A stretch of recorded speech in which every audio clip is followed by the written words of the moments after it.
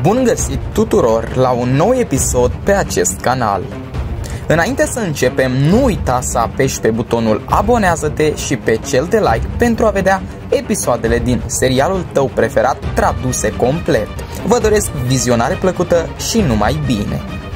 Astăzi vom vorbi despre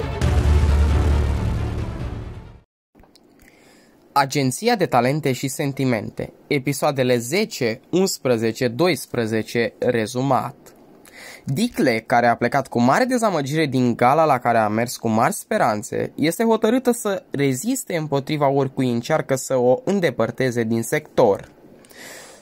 Maida îl întreabă pe Cirac cu cine a fost la premiera filmului ca să vadă dacă îi va spune adevărul. Cirac îi spune că a fost cu Dicle, dar minte că Feris l-a rugat să o invite. Yulin află întâmplător că Cirac se mută la altă agenție și o acuză pe Dicle că știe și că Cirac o va lua cu el ca asistentă. Dicle se înfurie foarte tare când aude insinuările ei și îi spune că se va plânge lui Cirac dacă continuă. Dicle trebuie să aleagă între a păstra secretul tatălui ei care a abandonat-o și a spune adevărul oamenilor care i-au dat o șansă în momentul ei cel mai dificil.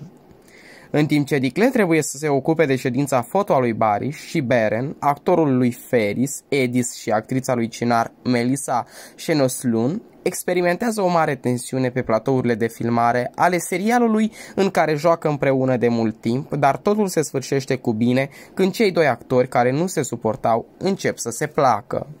Chirac trebuie să-și convingă actorii să se mute cu el la altă agenție. El este conștient că clienții lui Ferris, Civan și Peride vor pleca când se află de plecarea lui și cei trei impresari vor rămâne fără loc de muncă. Beren nu mai vrea ca Chirac să fie impresarul ei pentru că nu o lasă să ia singură decizii despre cariera ei. Feris acceptă să fie impresara ei pentru o perioadă. Julide nu primește rolul ei și e tare dezamăgită. Civan o consolează și îi promite că îi va găsi un rol mai bun. Feris o trimite pe Dicle acasă la Bari și Beren să ia niște fotografii din copilăria lor. Dicle merge întâi la Beren. Maida îi pune întrebări despre familia ei și află că este din Antalya și că a mers la aceeași universitate la care au fost ea și Cirac. Când pleacă, Cirac o conduce afară și o ceartă pentru că a mers acasă la familia lui. Soția lui, care are suspiciuni în privința lor de când a cunoscut-o pe Dicle, îi vede pe fereastră când se ceartă. De acolo, Dicle merge la Bari și din nou petrec un timp frumos împreună. A doua zi, când merge la el, vrea să-i dăruiască un poster cu Marlon Brando, actorul lui favorit. Beren este la Bariș când ajunge Dicle și tocmai îi dăruise și ea același poster. Dicle pleacă de acolo dezamăgită din nou. La agenție, Cirac îi spune lui Dicle că ar fi trebuit să accepte postul din Antalya pentru că viitorul agenției este incert și e posibil să își piardă locul de muncă. Îi spune că îi mai dă o șansă să rămână în sector și va vorbi din nou cu prietenul lui regizor din Antalya pentru ea.